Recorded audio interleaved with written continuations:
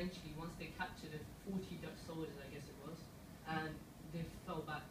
So there was that compromise. Okay, 40 Dutch soldiers, but in in um, as a result of their release, 8,000 Muslims ended up dying because they, they fell back and they retreated. And if you look in the, in the common day, I'll just say again, if you the professor mentioned Syria, I mean it's a, it's a very preventable.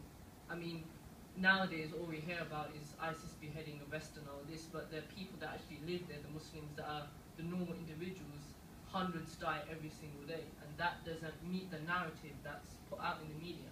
And the same thing exists in same thing in Bosnia as well. It's just it's it's forgotten about. I mean, at school you always hear about World War Two. The fact that you hear about World War Two is because Britain was successful in there.